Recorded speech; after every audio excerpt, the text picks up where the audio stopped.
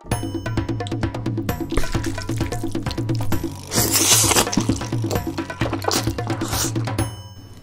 눌러주시오. Hi, こんにちは 안녕하세요. 시오입니다.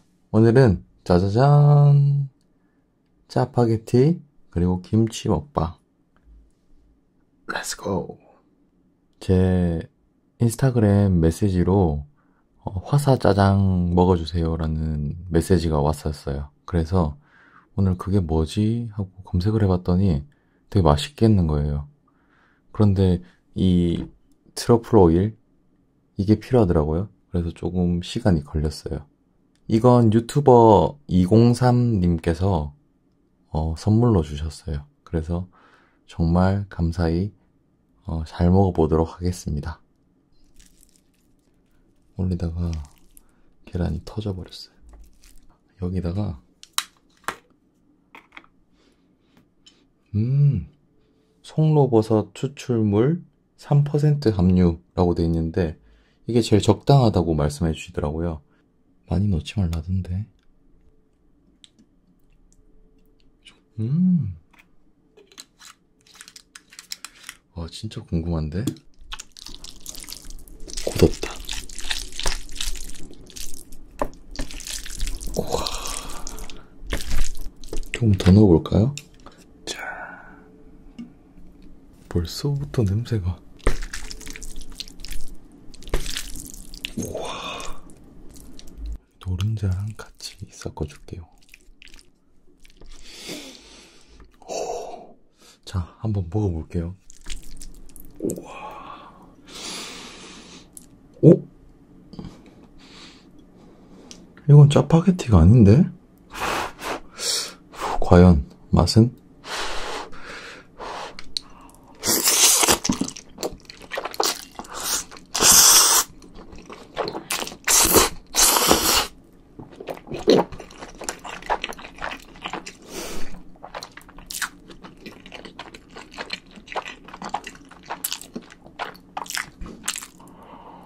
이거는 그냥 엄청 고급진 짜장면을 먹는 듯한 느낌이에요. 와, 이렇게 바뀌나? 냄새가? 맛이 되게 고급져요. 대박이다, 이거. 이번엔 김치 싸서. 우와. 와,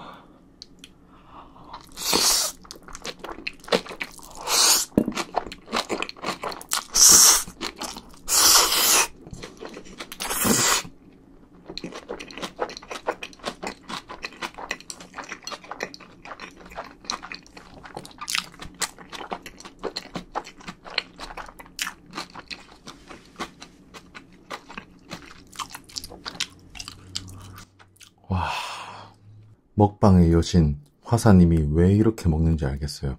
아, 이거 맛없을 수가 없네. 이거는 맛이 없을 수가 없어요. 와, 사기다, 사기. 자, 계란 싸서. 와, 이건 야식으로 딱인데?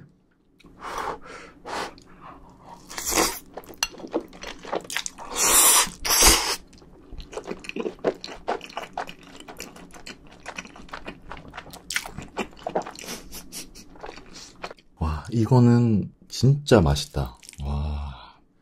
자, 큰 입.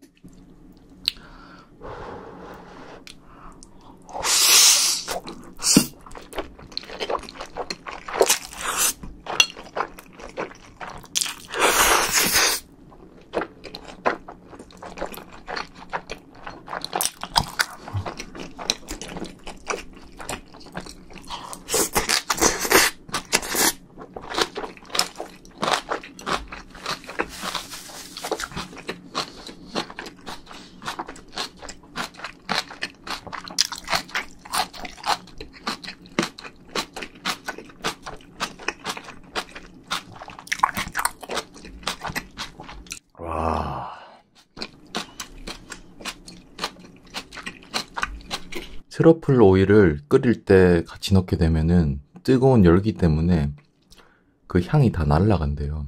그래서 그냥 다 끓이고 나서 부었는데, 와, 좀만 더 부어볼게요. 부으면 또 어떻게 맛이 달라지는지. 저는 이거 개인적으로 진짜 괜찮아서 많이 부어도 될 것 같아요. 제 취향이네요. 제가 버섯 되게 좋아해서. 김치.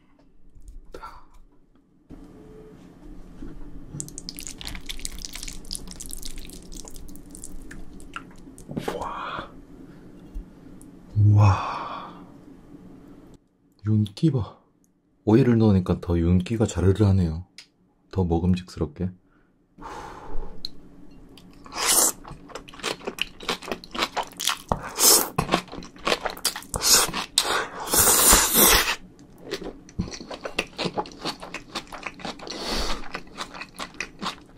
음.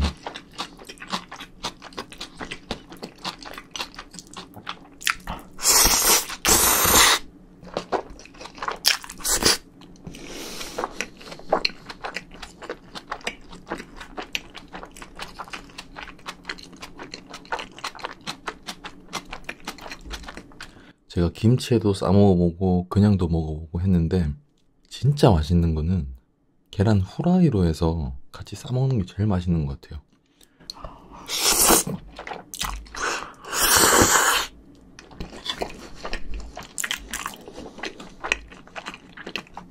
음.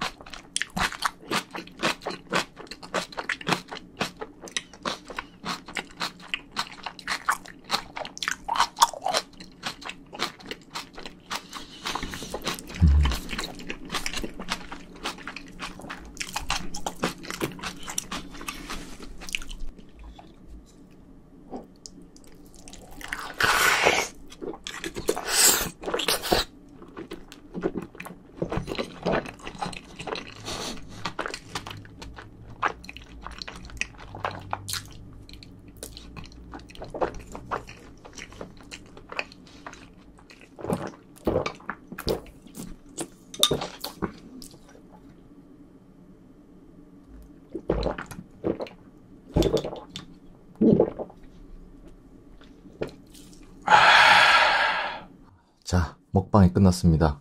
이 트러플 오일이 되게 호불호가 있다고 들어서 좀 망설였었는데 드시면 괜찮다고 하시는 분이 더 많을 것 같아요. 진짜로. 김치 볶음밥 할 때 넣어도 맛있을 것 같아요. 다음에 한번 만들어 볼까요? 그럼 오늘의 먹방은 여기서 끝! 안녕!